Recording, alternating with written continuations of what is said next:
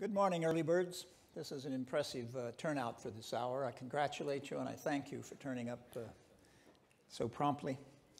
Um, we're going to have uh, our um, next version of the workshop on technology and governance, uh, the disruptive and beneficial effects of technological change, which have been dubbed the fourth industrial revolution, but that understates the case significantly. Since society had ample time in the past to develop reactions to significant economic change, but now this change arrives in digital form everywhere in the world almost at the exact same time. And societies have to react, and leaders governments have to react almost instantaneously as well. So ubiquitous and instantaneous change are upon us. They've already uh, indicated some significant problems that develop when this happens. Um, interference in elections in democratic nations is one uh, form that we Americans experienced significantly in 2016 and I think the rest of the world is beginning to experience as well. We've assembled an all star panel to educate us all on what is happening, what is changing, and indeed, one of the questions that I think the panelists will want to deal with is what has happened in the past year that is the most significant technological change for the long run. Um, I noticed in this week's Economist, for example, that machines, computers, essentially algorithms, now hold $4.3 trillion in American securities. This is because of the automation of so much of the trading system in our stock markets, which has brought significant changes, including more efficiency and much lower cost for investors but also reduces the amount of human control over decisions that determine our economic future. So that's an example of how things change so quickly in this game. I want to first introduce Francois Barrault, who is uh, one of the leading uh, business consultants, runs his own firm, uh, and does a, a terrific job at that. Uh, Francois has been with us before and will lead us now in a discussion. Thank you, Jim. I have two challenges this morning to wake you up or reward the early bird, uh, and also to talk about very complex thing uh, in a simple manner so that you don't take your smartphone and do something else. So it's a, it's a real challenge. Um, Despite my very young age, I've been in technology since uh, 1977. I had my first computer, and not only I've been a, a witness of the evolution, but I've been an actor uh, as well. So what I want to talk about is to look, of, of course, the main technology uh, revolutions, but what does it mean for us? How do you compare a machine uh, to a human? Uh, when you look at the evolution of the technology, you have two, two businesses. The first one is, is what we call B2B, business to business. And it's quite easy because everything has been designed by the man for the machine to serve the man. So it's quite easy because you know exactly what the machine will do. B2C is not as easy because you give technology to people and you never know what they will do with it.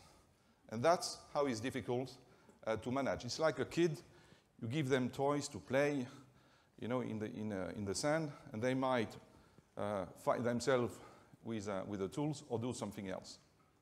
When you look the evolution of the technology, one of the first milestone has been the arrival of the PC. I'm not talking about, you know, all the goodies, but the PC given the person an access to a gigantic world, which was, is called now the cloud, but the computing. Then the smartphone came.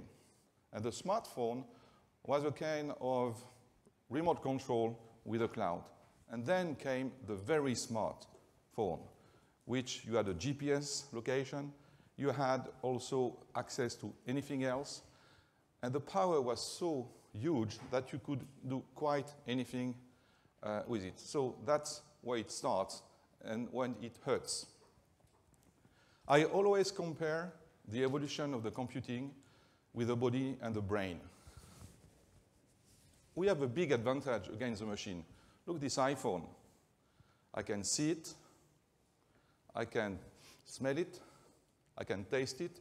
Not great, by the way. I can also um, uh, use it, talk to it, whatever. We have five senses. We have five senses to communicate. The machine has two senses. The machine can see with the camera. The machine can listen, hello Siri and whatever. By the way, switch off your uh, personal assistant at home because everything is, is, is stored. So at least we have five to two. Now, you're listening to me right now. What does it mean? Those loudspeakers transmit the sound at 300 meters per second to a membrane here that vibrates and transmit this information to your brain. You're looking at me. The speed of light is 300,000 kilometers by seconds. Then it arrives in the optical nerves here, and some of you knows me, some of you do not know me, but the combination of my voice, of the fact that you see me, will go in the brain and create in the brain a kind of memory so that the afternoon, when if you see me, maybe you re recognize my voice or see me. Now, I have a question. I remember you that a digital fiber, the data goes at 300,000 kilometers per second. When the information comes into my brain, either you see me, either uh, you listen to me, or either you touch me. What is the speed of the, the data, because it's, it's a data, goes to your brain? Give me a ballpark. You will not be ridiculous. Okay, we have 300,000 here per second. Anybody more, less? Thierry. The speed of data in your brain.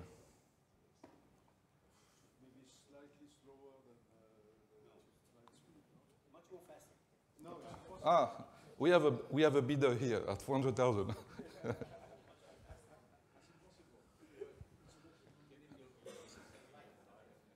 Sorry? It's an auction. no. So I give you uh, two datas. When I touch this phone, you know, I don't break it. I held it not too tight so it doesn't fall, okay? When I touch it, I have sensors. It goes into my brain at 60 meters per, second. When it's my brain, it's 100 meters per second. So you know wh where I'm coming. We have a benchmark now between a machine that will capture the data immediately, that goes into the cloud immediately, and we have a human being where we are very slow. The advantage, we have five sense, but the machine has two, but the speed of data is, uh, is re really fast. So what does, that, what does it mean uh, for machine? I give you an example that you will all understand. We talked about that last year, is smart cars. When you have an autonomous car uh, on the road and there is a donkey on the road, the car will look at the donkey. It takes us three iterations to recognize a donkey, the machine 400. The machine will never have enough information to recognize its donkey because the edge computing today available is not big enough. So we will capture a thermic picture. It will go in the cloud with 5Gs. Then there will be a bunch of people, like in this room, there will be a lawyer, uh, there will be a, a, cop, there will be anthropologists, there will be whatever you have, and they will decide whether or not the case has been already exist, or They, there will be a new case and say, oh, the donkey is cool, there is no car here, just cool down, and whatever uh, happens when the, the donkey pass his way, you just accelerate. So when you look at this process, you capture the information with cameras. The best cars now have 16 cameras. It goes into the cloud, 5G, next generation, at 300 kilometers per second. You have as many as resources as you want, real time. They will decide, sign, give an orders, and say, just brake, Okay? What does it mean for us?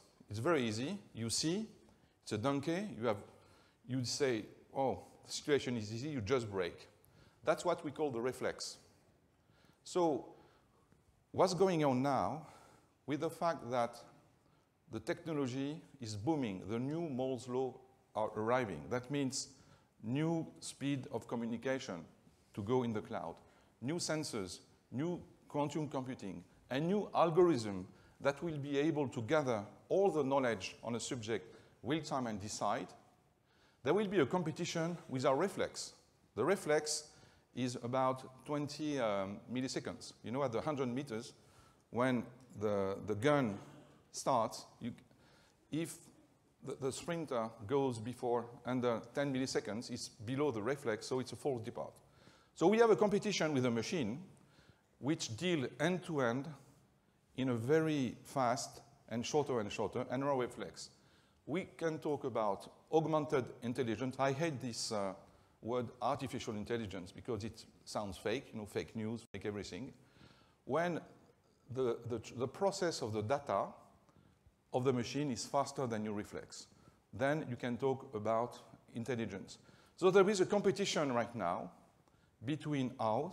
The big advantage is we can correlate our sense and the machine. If I say hello to somebody in the morning, if he's tired or sick, I will see it his voice is, is a bit cracking, I will listen to it. And then if when I shake the hand, it's wet or hot, the correlation of the three signals captured by my sense will say, oh, you're bloody sick. The machine doesn't have all those tools, but will go always faster and faster. So we're going to see in the next three years an incredible revolution that my friend has written in his uh, book, uh, uh, The Transhuman Code, Carlos uh, Moreira here, because of three technology revolutions. First of all, the new Moore's law on computing. Everything will be by million faster and cheaper and smaller. The second, the 5G, where we, you will have access everywhere where you have the spectrum uh, on the real time, and then all those algorithms that will create real-time um, uh, real-time uh, software. Then those revolutions will mostly change not our lives, because we are close to uh, uh, saturation, I would say, with these kind of things, but on the B2B side. And there is a new uh, circle law where technology change the usage, usage change the business models, and business models change the investment in technology. Just one example, and then I will be done. Uh, we talk about this many times, but it's the best way to, to uh, uh, explain that. Knowledge during 20 centuries has been an asset to discriminate people. The people who knows are the people at the elite. Uh, we've seen this in Greece with the Romans, with the bourgeoisie, aristocracy. When Gutenberg wanted to socialize the knowledge, you know, he was in a bad shape. And one, one day, uh, internet came. Remember, many years ago, the boss was the one, is the one who knows. He say, oh, I have this information. I cannot tell you. So it make a difference. By the way, I have a big office with five windows. You don't. So there is lots of criteria. One day, internet came, and internet allows with the blogs, Wikipedia, to commoditize the knowledge. That means whatever you need to know, you just go on the net, type some semantic uh, software, and you have access to all of that. What does it mean? When you share something, the young generation, you share your pictures. Look, it's 8.49. Instead of being in my bed, I'm a stage talking to early birds, and, and thank you for that. So you share your experience. Um, you share also your trips. You share your good, your good uh, um, experience in life. That means you, the usage changes. That means tomorrow, it's okay to share your car. It's okay to share your apartment. It's, it's okay to share your bike and whatever. So the sharing economy has started because people mentally have changed the way they deal with things. So technology changed the usage. But what does it mean for the business models? During hundreds of years, the car was a social achievement. The car was a tool where you wanted to sign your richness or your power, you want to impress your neighbors and whatever. One day, companies like BlaBlaCar, you share your cars. So what does it mean? The car is not an achievement. The car is, all of, is something you share. It's the same with um, apartments. You used to go to hotel, you share your apartments now. So what does it mean when you build cars? Are you building cars or are you transporting people? Are you hosting people or are you sharing your apartment? So technology change uh, usage, business model, and after uh, the investment in technology. It will also imply a new set of democracies because before we were controlling the people, now people can express themselves. I could talk during hours, but he will not be happy with me. Thank you. The good news is the best is ahead of us. The machine will never take control uh, of our life as long as we reasonable. And I count on you, and I can count on my kids and their friends. Thank you very much. Thank you, Francois.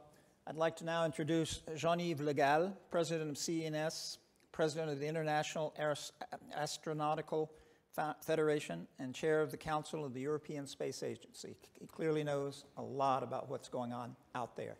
Okay.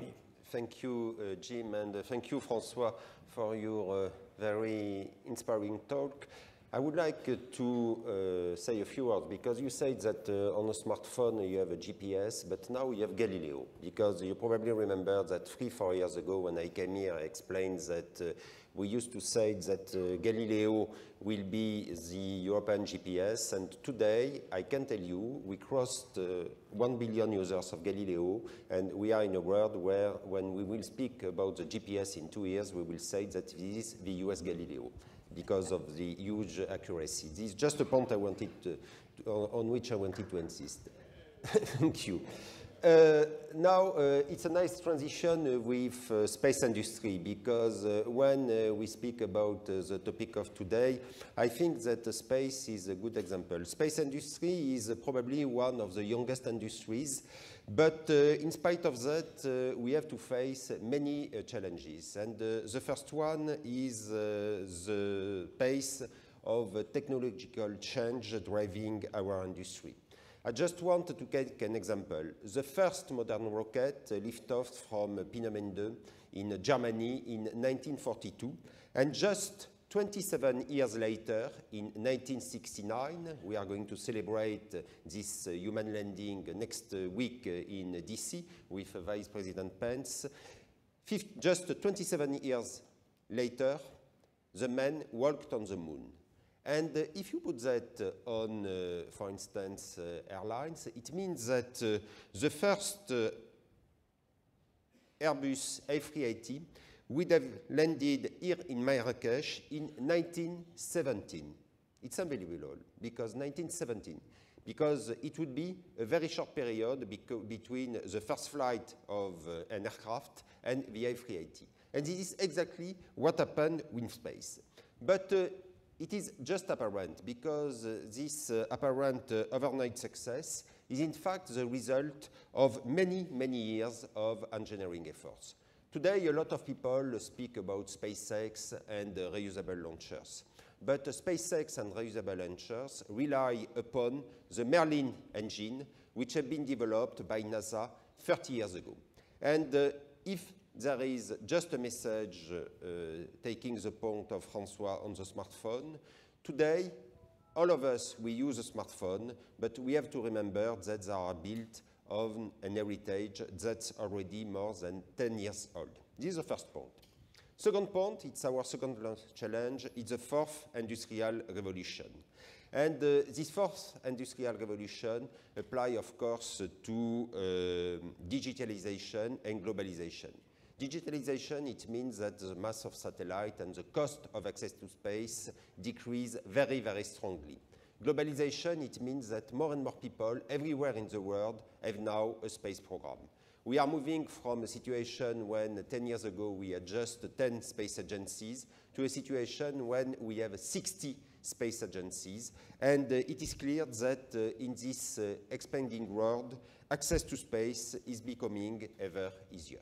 And this is a point also which is very, very important. Space in the past was just for an elite. Now it is almost for everybody. The third point is what I used to call the new post-truth media era. Because today, science value is no longer yardstick, but uh, we are told many, many things which are sometimes not really credible. For instance, people explain in the US at the highest level, then uh, a woman will be walking on the moon again in 2024, and a man on Mars 10 years later, I can tell you that it is not the truth.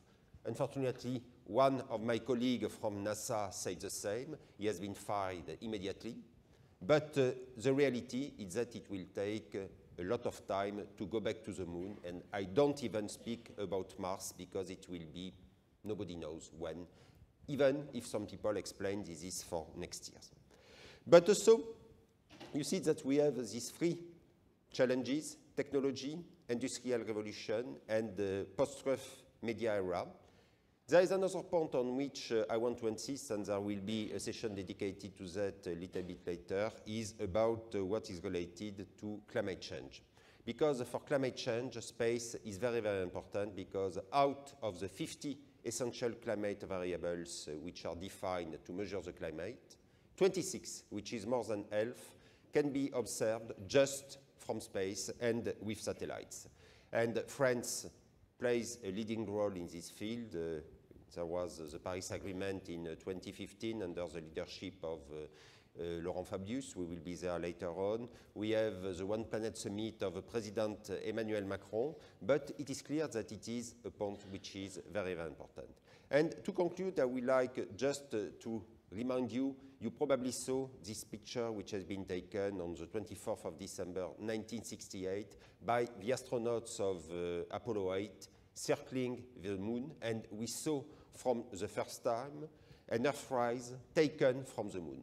And in this image, image, we have two messages. The first one, it's space, it's technology, but the second one, it is the point at uh, we have the fragility of our little blue dot, which is totally alone in the vastness of space. And one, once again, it's uh, a major challenge we have in front of us. Jean-Yves, merci. Now it's my pleasure uh, to introduce someone who clearly has mastered technology enough to be everywhere at the same time. That's Susan Liautaud, who is professor of law and who um, balances uh, commitments at Stanford University, LSE in London, and her own business, and somehow managed to keep all of these balls in the air. Susan? Thank you. Uh, thank you, Jim and Thierry. Thank you for the honor. Um, what I'd like to do is to make three or four points and see what resonates for the discussion and the Q&A because that's always the, the best part at World Policy Conference. Um, and my points will have three things in common. The first is that they all have a considerable ethical responsibility for individual citizens, um, corporates, and governments. The second is that no matter how much technology is present, there are always people who are ultimately responsible and ultimately affected. And the third is that I see this intersection of technology, society, and democracy um, through the lens of risk and opportunity. So how can we maximize the opportunity? How can we minimize the risk? So to start, um, as others have said, um, technology is ubiquitous.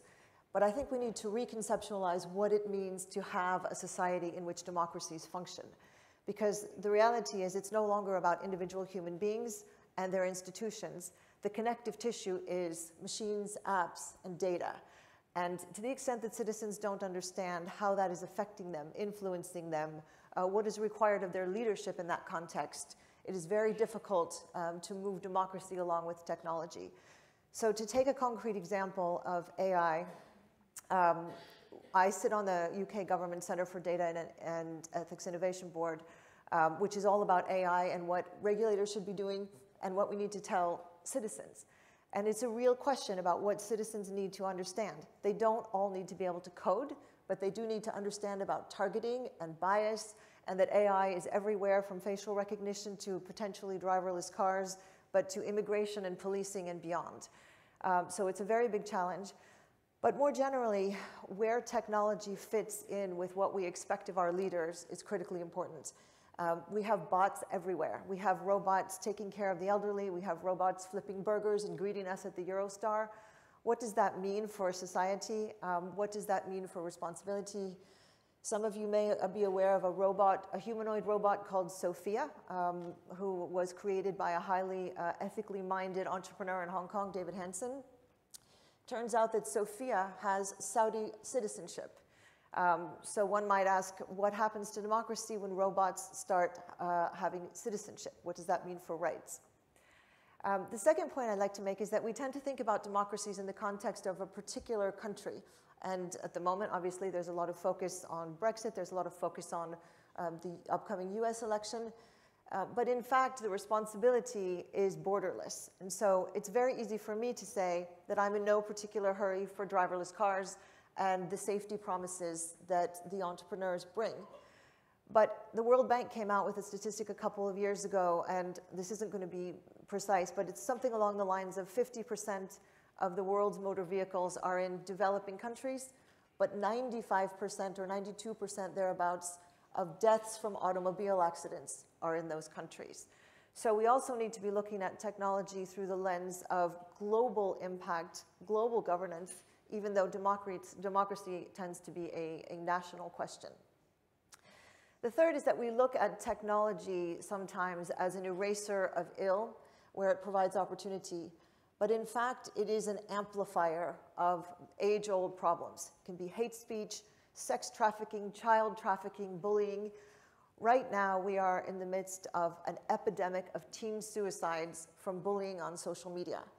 Why? Because you can't leave a playground or even change schools when you're bullied. There's just no way to get away from it on the internet. And in fact, just like citizens don't understand AI, uh, victims of this kind of thing don't really understand who might have access, where things might have been forwarded, how you could put a stop to it.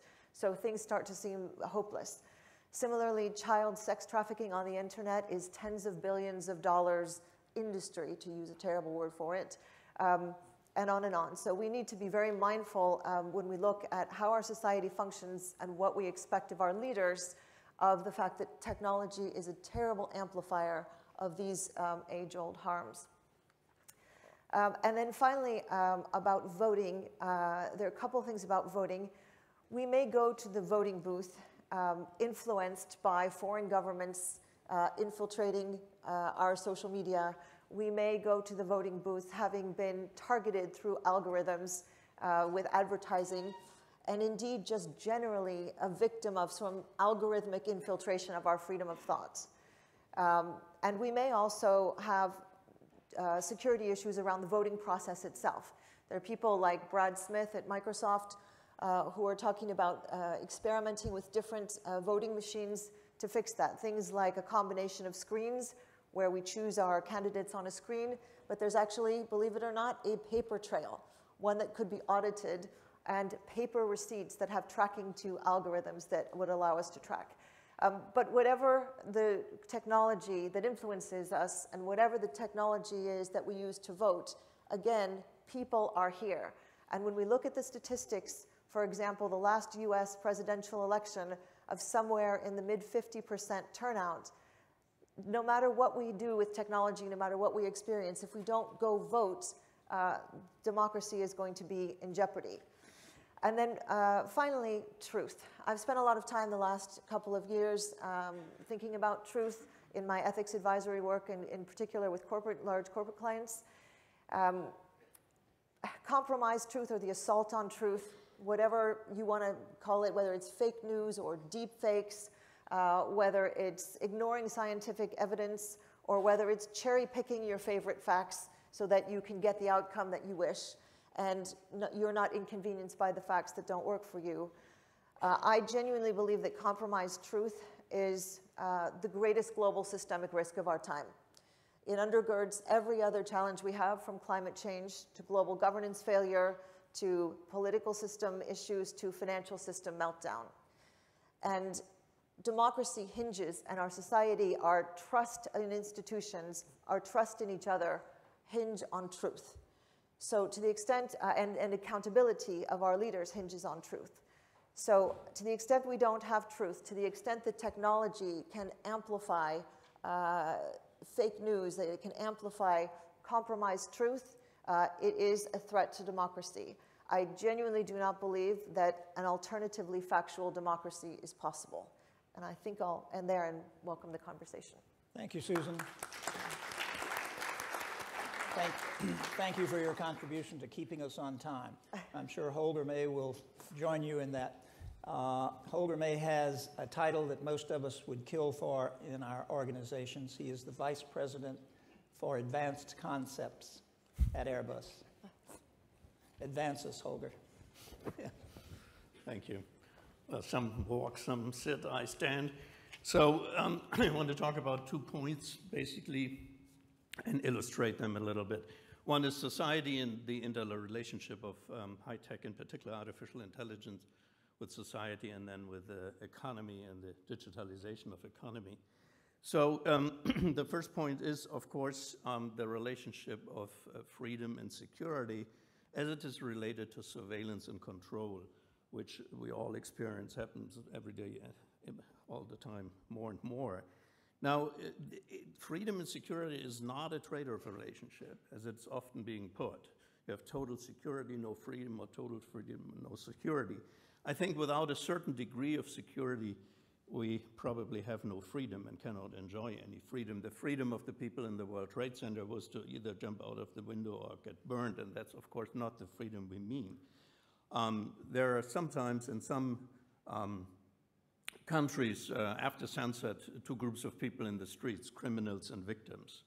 And uh, that's also not uh, the um, freedom we want. So we have to look into the question of how we structure and organize all our societies, be it China, be it the West, whatever, in this relationship of security and freedom. Now, I want you to imagine 5 p.m. rush hour in Paris, Washington, or any big city, and you walk through the streets. What do you see?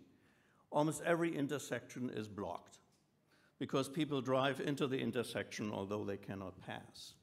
It is because they are unattentive or just selfish and ruthless, whatever, but it doesn't work. Now, you have the autonomous car and the artificial intelligence-based traffic control system, and you can easily imagine that this problem will be solved. There will be a smooth flow of traffic, and it, and it works. So far, so good, until a person, a pedestrian, steps onto the street. Now the car will stop. What does this person learn? hey, I can walk onto the street whenever I want and all traffic stops. So we will experience a complete breakdown of traffic because of the behavior of people. Now, there are two ways to deal with it. Either you program the car in a way that it uh, once in a while overruns the pedestrians and they learn to pay attention, or you have video surveillance anyway everywhere, and there is, um, of course, biometric data recognition, and you step onto the street and then you will read on your mobile device, well, we just deducted 1,000 euros from your account. If you do that again, it will be 5,000. If you do it once more, you will be in prison for one month. So we learn to behave, right?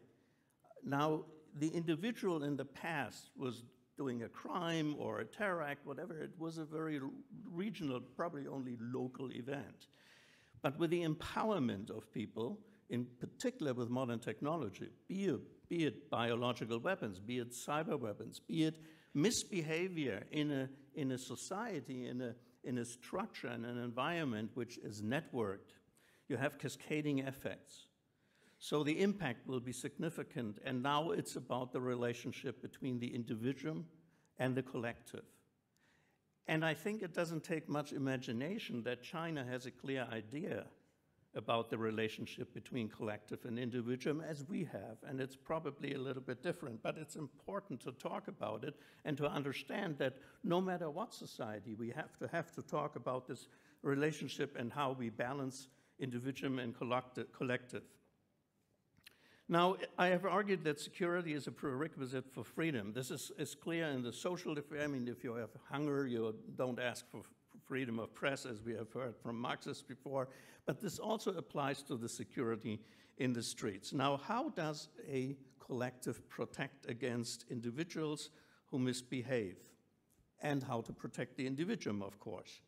Now, I think we should start thinking about something which my friend Parag Khanna argued so nicely. We need probably to adapt all our societies to that in a way, to think about a combination of Switzerland and Singapore.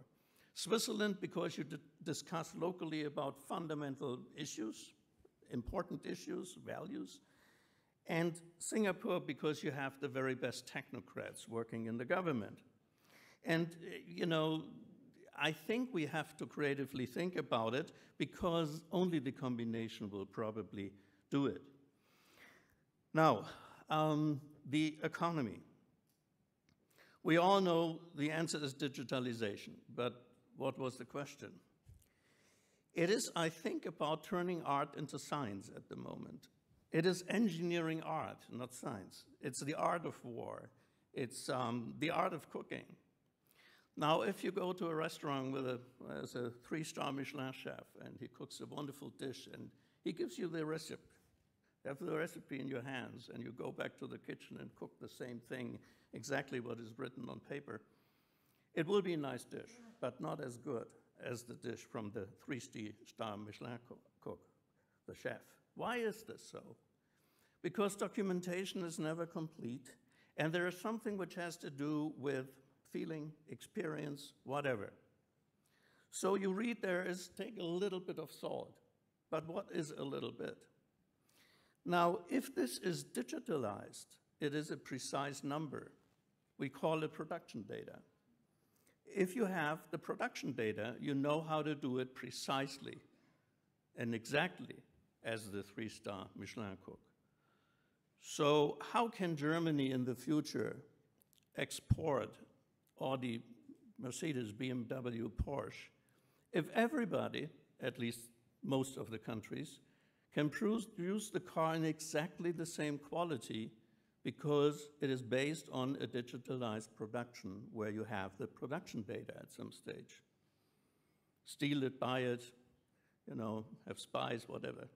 Um, the problem is how can we make sure that we stay ahead in a sense and the interesting thing that invention only helps very shortly. Because if you're an artist, a sculpturist, and you make a nice sculpture, if you put it into the 3D printer, you have two million originals. It's not distinguishable anymore. So Germany invented the telefax, but Japan produced the telefaxes and marketed it and made the money. Even if you are like in China for a long time, just a copycat economy, you make the money not by just inventing things, you make it by doing the application and sell it, sell it. So the problem is that we are challenged with innovation and high quality manufacturing as we move into the digitalization, which is of course without alternative, but nevertheless it will be a big, big challenge. Now I think um, the problem with the intelligence in this whole part is I'm not so much concerned about artificial intelligence, I'm more concerned about human stupidity the question how we use this. And I think if we think it through, it's not about intelligence per se. That doesn't necessarily do us any good, as we see with many modern autocrats and dictators in history. They were not necessarily stupid. But it is related to civilization, to culture, to values, to the question of reason and reasoning. And that is something where we might still have a certain competitive advantage to very intelligent machines. As I argued two years ago here at the same place, that um, referring to Ray Kurzweil, who wrote an article about 20 years ago, and the title was so wonderful. The title was, The Computers Will Convince Us That We Are Superfluous. And if we don't one day end up in a zoo and little robot babies make fun of us, we better start thinking about our own role as human beings and how we use artificial, so-called artificial intelligence for the good, which is related to culture and civilizations. I think we need this debate in all of our societies because our, our different societies will deal with this challenge differently. Thank you very much for your attention.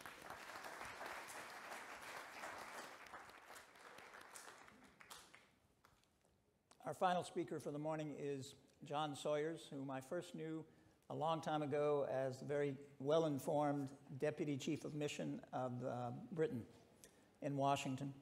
And a few years after that, I was surprised to learn that he'd become head of MI6. John today has a very important business consultancy, and he's going to tell us all about everything we need to know. thank you, Jim, and thank you very much for inviting me back to uh, the World Policy Conference. Um, it's very hard to build on the, uh, the, vari the wide variety of thoughts we've had from the first four panelists, but I want to put it into a global strategic uh, context.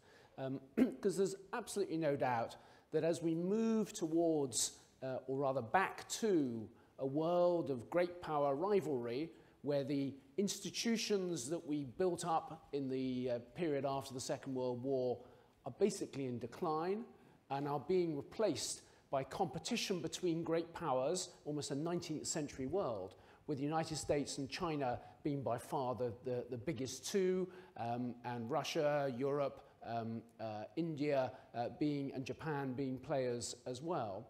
In this great power rivalry, technology is playing a central role. Let me just focus initially on the rivalry between the United States and China. The United States has some historical advantages here. It has the biggest corporates, uh, like the, uh, the ones we all know, Apple, Amazon, Facebook, uh, Netflix, uh, uh, Google, and so on. Uh, but China is catching up quite fast, not just in China, but beyond China's borders as well. But the United States has a lead in corporate development.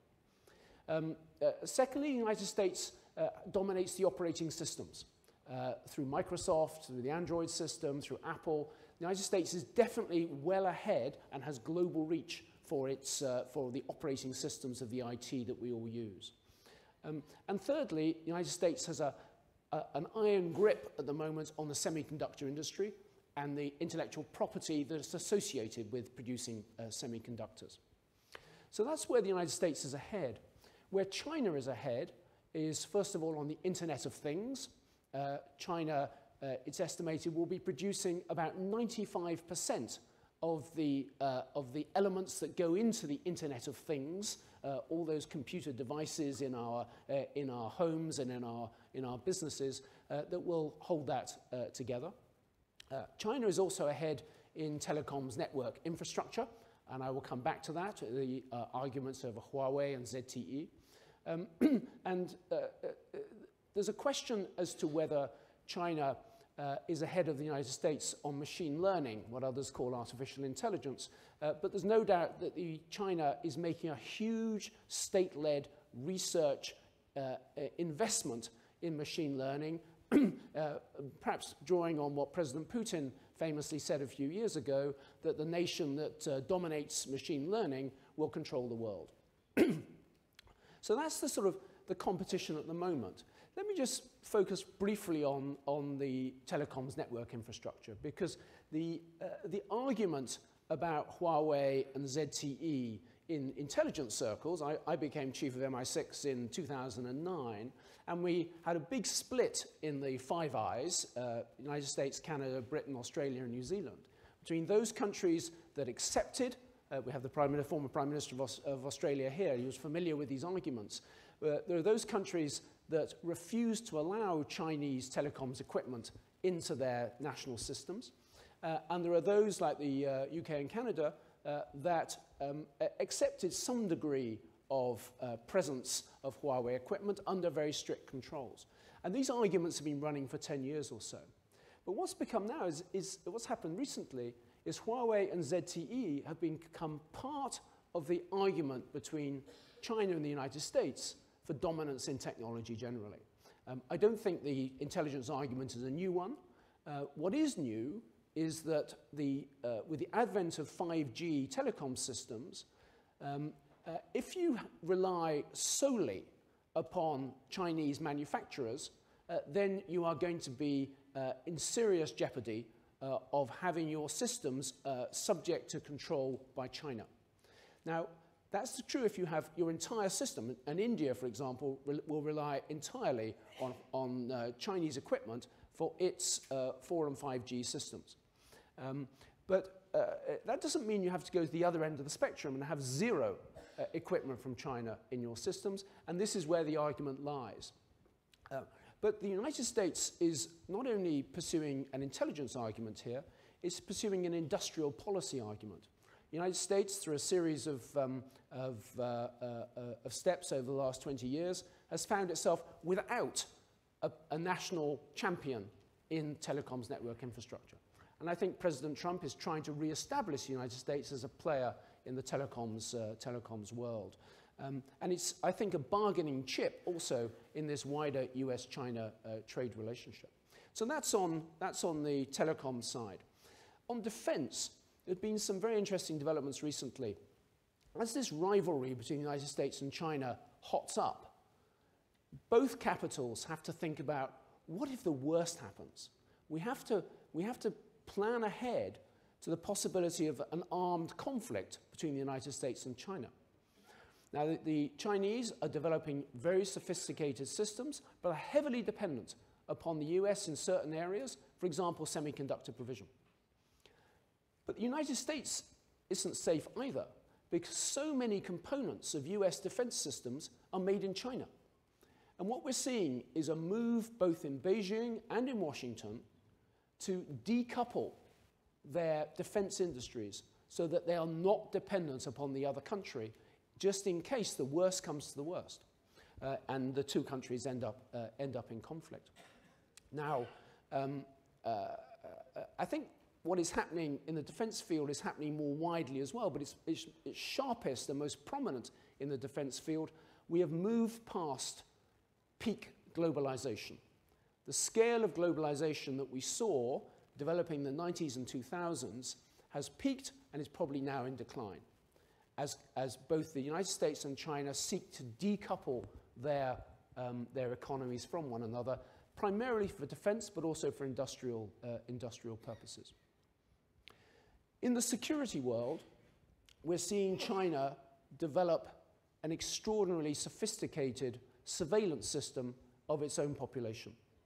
Um, uh, one advantage the Chinese have is they're not particularly concerned about human rights and they have no concept of data privacy. Uh, in the world, there are uh, sort of three concepts of data. In Europe, it's controlled by the individual. In America, it's controlled by the corporate. In China, it's controlled by the state. And that means that the state of, uh, in China, the state have got um, almost unlimited use of your data to control and to know where you are. Now, some of them is, is the, the sort of um, uh, scenarios that Holger was, uh, was describing of um, if you go to Beijing and you step off a pavement and there's a red light, then two days later you get a letter from the, uh, from the authorities saying you were seen jaywalking crossing a, uh, a, uh, a crossing when you shouldn't have done so, and here's a fine. But of course, they don't use it to control people on the pavements. What they do is use it to monitor potential dissidents. Uh, and China now has a surveillance system that Joseph Stalin would have died for. It is more effective, it is more thorough, uh, and it's less violent uh, and more accepted by the, by the population. Uh, so in the world of uh, surveillance and control, China is no doubt far ahead of, uh, of all other countries uh, in, in, this realm. And then lastly, just a couple of words on cyber.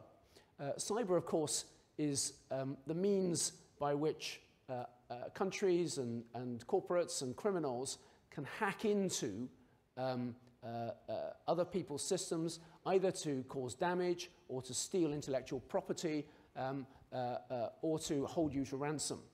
Um, uh, we all know the cyber world, we all know uh, how cyber defenses have improved, uh, but cyber attack capabilities have also improved. Um, in this area, I think the, the major powers are very conscious of their own vulnerabilities. Uh, in the West, we're conscious that our entire systems are based on uh, IT networks that, um, uh, that shape our daily lives. And if our IT systems were brought down, our banking system, our public healthcare systems, and so on, then the scale of damage to our, to, to our stability would be great. It's even more the case in autocratic countries like China and Russia um, where they feel themselves very vulnerable to um, exploitation, to uh, uh, the stirring up of unrest in their countries. And we're seeing a progressive move by autocratic countries to take control of their uh, internet space um, uh, so that they cannot be subject to disruptive cyber attacks. Um, uh, uh, we saw earlier this year Russia experimenting with cutting their internet off from the rest of the world. Uh, this was seen as an emergency step that they might need to take in a crisis. What I think it will be surprising if Russia develops the capability to cut itself off from the rest of the world and then doesn't use it as the norm, as the status quo. And where Russia is leading in this field, China is also taking a very close interest. And of course, there are other countries, Iran being an obvious example, uh, which is, uh, uh, which is um, uh, taking a, a, close interest in, in, uh, uh, in having control over its own domestic internet and separate from the global internet.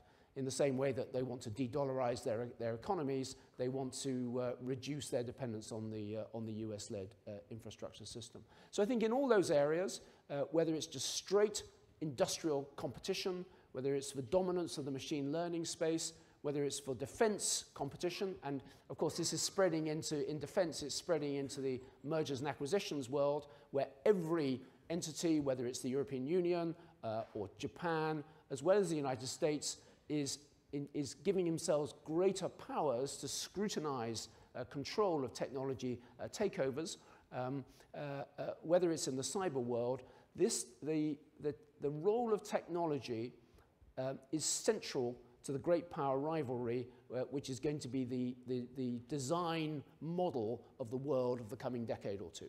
Thank you.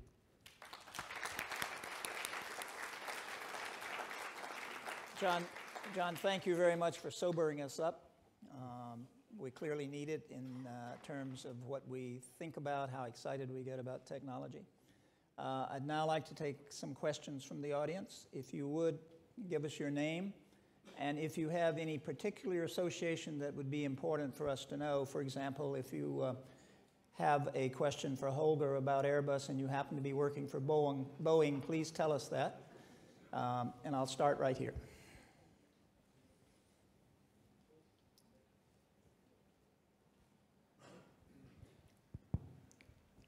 Uh, Mathilde Pack, I'm an economist at the OECD, working on the Korea-Sweden desk.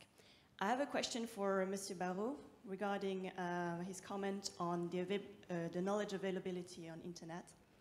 Completely agree with you. I mean, when I compare uh, my very first uh, presentation and when I was a young student and right now, I mean, there's a big, uh, big gap. But this requires to have the digi digital skills. And for that, we have a big gap between the young generation and the elderly. Uh, in the case of Korea, which is a really high technology society, we have uh, the young generation which has almost no problem of basic skills, while the elderly do. So what would you suggest so that the whole population can benefit, make the most of uh, technology changes, while also be aware of the dangers that Mrs. Liautaud uh, raised? Uh, what would you recommend? And I know that in that matter, we often uh, recommend lifelong learning. And in that case, how should it be done? Should, be, should the government centralize uh, and uh, take care of lifelong learning, or should it be taken care at the level of firms? And if so, how would firms get the right incentive to promote this life learning? Thank you. Thank you. It's a very uh, good and interesting question.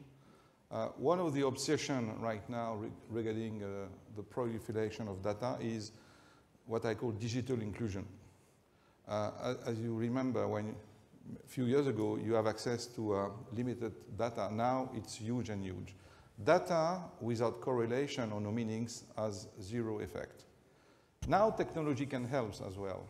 Um, imagine you are on vacation um, with uh, 25 people in a big, uh, big home in the south of France, and every morning you, you, um, you have a, a, room full of socks, uh, pants, trousers, and whatever. Those are the data, okay? If somebody who has no knowledge how to put things together in a house, like me as an example, I will be totally lost. Now the new algorithm will put information together, socks with socks, with age, with family and whatever. So um, the, the, the, next generation algorithm, algorithm are creating correlation with data, you know, that means sent to the person. Think about, you know, the, uh, all the clothes um, uh, in a room. And all, most of the leaders in the digital technology have, again, an obsession uh, which is to make data relevant to people or, or to some or to, uh, to uh, communities. And the next generation uh, algorithm uh, does that. There is a huge effort right now in countries, cities, to bring technology to people. Because before you had to go to technology. Uh, and I'm very confident that it will help the older generation to have access to this fantastic tool. Well said, Francois. The next hand I saw was over here. Wait for the mic, please. My name is Stanislas Kozon, Capgemini. Question to you, Holger. Uh, I was intrigued by this question of security versus freedom, and the example you gave of crossing roads and automatic, autonomous vehicles and the behavior of people, I thought this is a profound situation. I mean, it's, telling and my question to you would be, what is the role of education in helping people learn how to behave as free citizens in our civilization in the new world of new technologies? Well, education is, of course, the key, and I wish everybody would be well educated, has good manners, behave nicely. But of course, human beings often don't. And, and this is the question how then we deal with those who don't. Because, you know, we usually say, well, at, for instance, at the end of the day, um, the computers need to be controlled by the human being. Say by Mr. Hitler, by Mr. Stalin, by Mr. Mao, by Mr. Pol Pot. No, no, only by good guys. But, but who's that? Who defines that? That's, that's the problem. And of course, if we say, well, this is something, uh, you know, how human beings should, should inter, interact, well, if you look at the social structure of, of street gangs in Los Angeles or Mexico City, you would see this is a different behavior than we all have here. So yes, education, it would be great if this works and if we have only good people, you know, so to speak, but um, there, there are bad guys out there for whatever reason, and we have to somehow deal with this, or with people who misbehave and all that. And a state that comes up with the rules but doesn't care about rule enforcement or law enforcement undermines um, the respect for law, which is a problem. And I want, you know, the local communities, if you wish, to discuss, well, should we have a speed limit of 30 kilometers per hour in front of a school? And if the people say by huge majority, yes, that's a good idea to protect our children, then I don't want people to speed there. So either you may come up with a rule there and then you have radar checks and you make sure the people behave, or you don't care and undermine the whole respect for law. I wish everybody would respect 30 anyway, but we know how few people do if you don't have checks. Susan, you had a one finger. Uh... I just wanted to address this um, very important question as well there's a lot that we don't know about behavior. So for example, if you have a bot babysitter, is it okay to be insulting in front of your child to the bot? I mean, after all, it's a machine. Are we going to be educating children to be disrespectful to Siri or Amazon Alexa, even though we tell them that they should be respectful to adults? So these blurred boundaries of behavior with machines are quite complicated. Um, and you know, as was just said, uh, who, who, gets to decide in terms of the programming of these machines?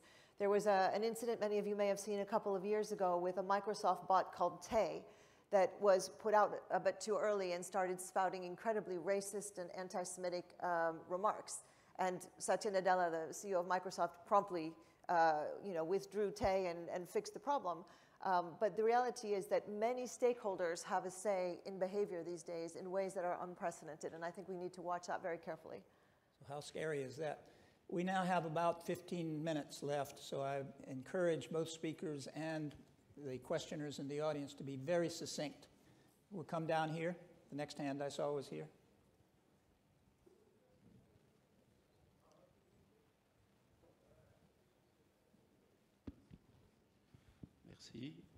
Monsieur Laïchoubi, ancien ministre, euh, politologue. Je voudrais suggérer euh, l'élargissement du spectre du, débat avec une question essentielle, le rapport euh, entre science et éthique. Nous avons eu deux grandes phases. La première phase avec Newton, Laplace, Maxwell, se chauffer, se soigner, voyager, communiquer. Puis les années 30, on a eu une poussée exponentielle des technologies avec des dérives, le plutonium, Bhopal, le, le sang contaminé, Tchernobyl, des grandes désillusions. Et puis on peut additionner, vous l'avez évoqué, les grandes compétitions géopolitiques où les uns et les autres considèrent que les nouvelles technologies leur assurent la, prééminence. 61 euh, académies des sciences européennes réunies à la commémoration des 350 années de l'Académie des sciences euh, françaises ont estimé qu'il y a un risque de rupture entre la science et la, et la société. Alors euh, la question, bien sûr, c'est, on revient à la question de l'éthique à quelle stratégie de recherche quand on sait que les Japonais ont décidé d'inverser totalement leur recherche, de la mettre à la disposition du besoin social. Alors, est-ce que nous sommes tous concernés par euh, certains types, un angle géopolitique euh, exacerbé Est-ce que cela nous concerne la suprématie d'un tel sur l'autre? Est-ce que l'humanité n'a pas besoin de notre débat? Merci. François, would you take a crack at that? Euh, je vais répondre en français à Monsieur le ministre. En fait, j'en ai un petit peu parlé. Dans le type de, de, projet technologique, il y a deux types de progrès. Il y a le progrès encadré, et vous avez cité toutes les révolutions industrielles, avec d'ailleurs des, cycles de Schumpeter euh, très très longs. Et en fait, on a euh, la science cadrée a mis en place un process, un framework euh, qui permettait de faire progresser l'humanité. Et puis un jour, Internet est arrivé, le smartphone, etc., et on a transféré cette puissance de feu à l'individu. Et je l'ai dit déjà hier plusieurs fois à la conférence, Internet a été la plus grosse révolution industrielle en termes de création de valeur sans aucune gouvernance. Au début, Internet était euh, un outil de communication entre A et B, les universités, est devenu euh, un outil de communication entre des personnes. Euh, les SMS, on refait juste un peu d'histoire, au début c'était un, un 911, c'est-à-dire un, numéro d'urgence au Japon, qui a été détourné par les adolescents japonais qui sont très timides, et ils ont utilisé donc ces, ces, il y avait 300 caractères, à faire une sorte de, jeu de séduction, etc. Et là où, où, le bas blesse, où là c'est à la fois inquiétant et fascinant, c'est que quand vous donnez un outil euh, à des individus où vous contrôlez, débrouillez-vous, vous ne savez pas où ça va. On a eu le printemps arabe, euh, on a eu les gilets jaunes, qui sont des nouvelles formes de démocratie. Je ne discute pas le, bien ou le, bien fondé, mais euh, ça a complètement échappé au système organisé régalien qui encadre. Donc, euh, par rapport à ce que vous, dites, c'est qu'il y a une ambivalence, c'est-à-dire que soit on continue à cadrer le progrès, ce qui a toujours été fait dans les machines, soit on donne aux citoyens des outils pour qu'ils se développent, communiquent, et là, finalement, on ne sait pas comment ça va, puisqu'il n'y a pas de gouvernance Internet. Hein. Euh, que vous gagnez 100 millions de dollars sur une transaction, vous demandez l'heure, il n'y a pas de, on ne réinjecte pas la création, la création de valeur euh, là-dedans. C'est pour ça qu'il y a des dérives, absolument, euh, et qu'il convient de les encadrer, mais chaque fois qu'on va encadrer quelque chose qui ne l'a pas été, on va nous traiter de rétrograde ou de, de personnes euh, conservateurs. John Sawyers has a chip shot on this. Yeah, um, I just wanted to uh, come in on this point because I, I didn't mention much about Europe, Europe's role on, on this. There is certainly some very interesting and important technology development taking place in Europe. although we are falling behind both the United States and China in terms of both um, uh, uh, uh, basic research and how we exploit that at the corporate level. But I think the European Union has an important um, regulatory role here. I, I, I, implied a reference to the um, uh, uh, uh, General Data Privacy, GDPR, regulation that Europe pushed through a couple of years ago, which is now a global standard. we're seeing now the work of the European Commission on the taxation of global corporates in the technology sector. And I think this will also become a global standard, even though Washington is kicking and screaming uh, about it. Um, the, uh, there is a certain role here in terms of regulating this rather wild world where Europe can play a role, but we, I think in order to have that influence, we will also need to invest more um, uh, in basic research and building up our corporates in in enabling the, uh, the uh, uh, areas where Europe does have an edge, and aerospace and, uh, and so on is certainly one of those, um, uh, in the years to come. So it, the, in many ways, the biggest challenge that regulators will face over the coming generation is how we transfer the rule of law we have in the physical world into the virtual world. And I think there's an important leadership role that Europe can take in this. Kicking and screaming is the order of the day in Washington now, John. Jean-Yves, you had a brief, brief remark. Yes, but I agree because uh, when uh, we hear that uh, the US and China are the first and that Europe is behind them, I don't agree because there are numerous fields where uh, Europe is number one and uh, what is uh, really of interest is that we have less money, it's obvious, and we have also a real uh, capability to organize and to cooperate because when Europe works uh, in Brussels or in other intergovernmental agencies, you have 20, 25 countries working together.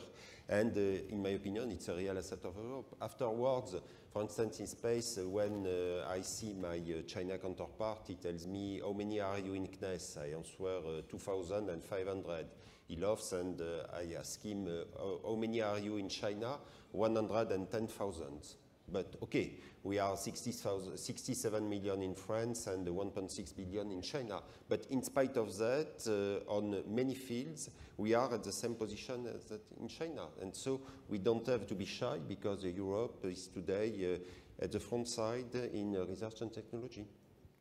I have a series of uh, hands in the front row. Uh, Jim, just at one point, please? Yes, please. Um, I mean, of course, uh, Russia sometimes is geopolitically uh, a difficult partner to handle for Europe, but the true competitors are indeed China and the US, of course. But you know that Europe can do something. You see, if I may, with my own company. In the 60s, nobody would have believed that Airbus could ever compete with Boeing and see where we are now.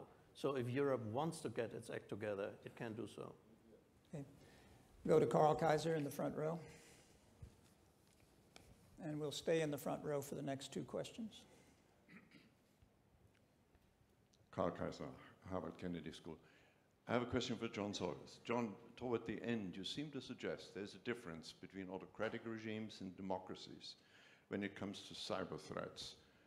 Democracies, uh, for example, their, cap, their, their banking sector can collapse or their grid, whereas in autocratic systems, the regime is at, a, at, threatened. But couldn't you also argue that democracies also have a regime problem? Some could argue that Putin put their man into the White House, destabilizing the United States, indeed the Western liberal order. So democracies are also threatened as regimes through cyber. Is there any difference here? Well, I, I, think there is a difference because there are more checks and balances uh, in uh, democratic systems than there are in autocratic systems.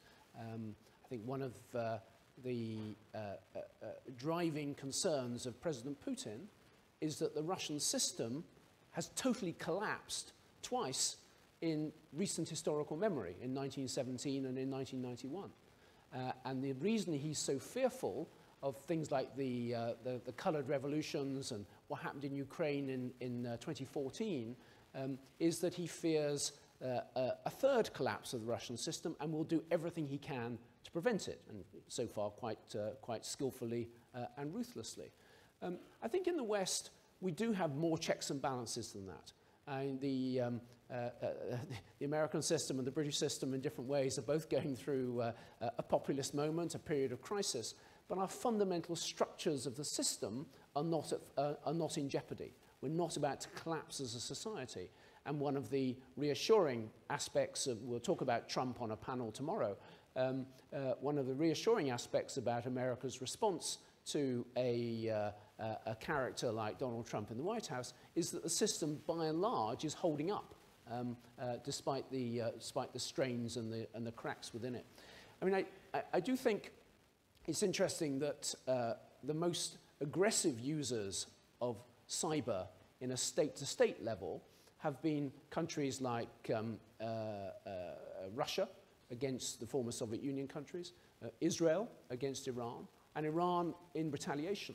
Uh, and to some extent, North Korea as a way of sort of uh, trying to get some money, some rent seeking out of the international system. Um, it's, it's striking that uh, although China has used cyber very extensively for um, intellectual property theft, um, and of course there's a famous uh, stealing of the uh, Office of Personnel Management records in the United States, the, the, using it as a weapon of war, both China and the United States and European powers have been very reserved about how you use that because, in part, because of the threat of retaliation um, and vulnerability, which I think, as I say, all powers face. But I think I would still say autocratic countries have that much extra vulnerability because they don't have any checks and balances. They basically don't have uh, broad systems of consent. Uh, so the stakes are even higher for autocracies than they are for democracies. John, in uh, this phase, the system is not only standing up in Washington, it is fighting back. But about, more about that tomorrow. Yeah. I saw a prime ministerial hand down here. No? All right. Um, yes.